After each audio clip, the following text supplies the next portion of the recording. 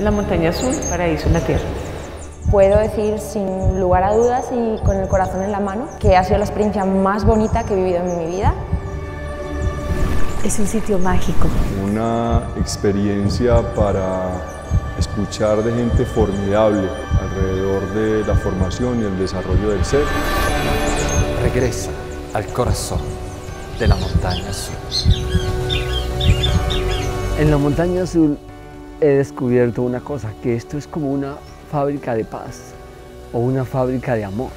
La paz y el amor la fabrica o la elabora o la construye cada uno con la ayuda de los maestros. La sonrisa del corazón. Es un lugar donde las personas vienen a descubrir una dimensión de sí mismo inesperada.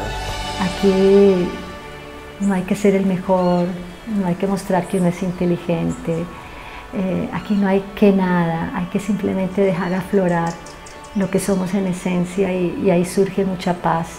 Creo que en el corazón de todos es muy claro la necesidad sincera y profunda de ese despertar del bienestar más especial y esencial en nosotros.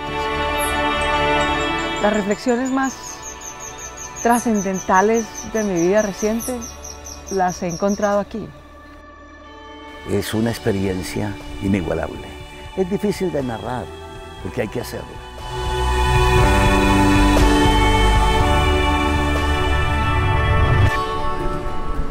Siendo carnívoro, siendo el mayor amante del pescado, sobrevives, es deliciosa cada uno de los platos. La comida ha sido estupenda, balanceada, nutritiva, deliciosa, gustosa, presentada divino. Le hemos eh, llamado alimentación feliz. Aquí se habla mucho de que se enseñan cosas que solo se pueden transmitir de corazón a corazón. Yo creo que esas son las perlas que uno se lleva. Y en vez de estar tanto desde la mente diciendo qué voy a hacer, qué voy a trabajar, que esto llega del, del yo, del ego, escucha la voz interna del silencio y siente cuando llegan momentos intuitivos donde el corazón te dice, ahí todos esos momentos donde la vida se nos pone compleja, o sea, sentimos que hay algo que está mal. Ese es el momento en donde la vida puede ser transformada. Este espacio de paz está dentro de uno. Y esa es la integración que realmente nos sirve a cada uno para transformarnos y a la vez ser transformadores. Van a eh, haber momentos de dificultad y pararnos ante ellas y resistirlas o salir corriendo nunca va a ser una estrategia que realmente nos, nos traiga libertad.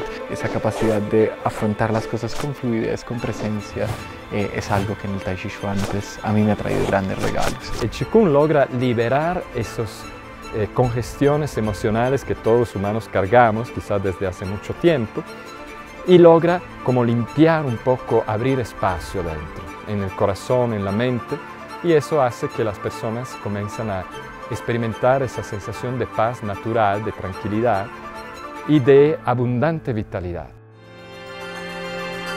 Todos queremos un mundo mejor, pero no, nos damos cuenta que esa felicidad, esa, esa paz, primero hay que encontrarla en uno mismo.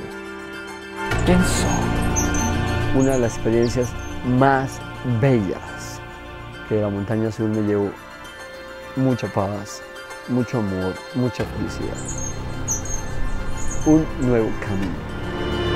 Y me llevo una llama para pensar que cada nuevo día trae un nuevo despertar y debe tomarse no solamente como el último día de tu vida, sino también como el primero. En esta ocasión en particular me llevo mucha paz, profunda paz y y gratitud y, como el corazón así abierto, gigante. Gracias a la montaña por existir y a toda la, la gente que hace esta experiencia posible por existir. Sentir, soltar y sonreír.